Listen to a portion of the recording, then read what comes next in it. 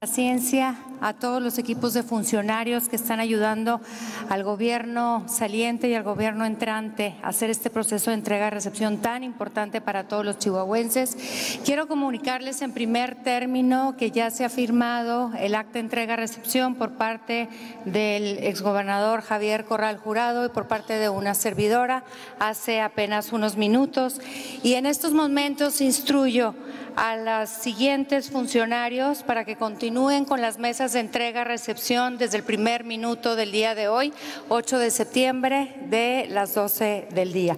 Instruyo al, eh, al, licenciado José de Jesús Granillo, secretario de Hacienda de Gobierno del Estado, al licenciado maestro Roberto Fierro Duarte, para la Fiscalía General del Estado.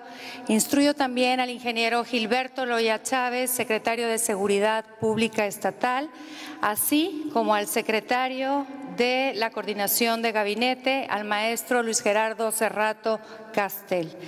Vamos a trabajar como funcionarios públicos y conmino a todos los funcionarios a trabajar desde el primer minuto con mucha convicción, con mucho esfuerzo con mucho, eh, pues con mucha remembranza de lo que los chihuahuenses están esperando por nosotros en este nuevo gobierno y en esta nueva administración 2021-2027. Agradecerle a los funcionarios, gracias a todos, gracias a los chihuahuenses y gracias de nuevo a los medios de comunicación por su paciencia y por su transmisión. Buenas noches.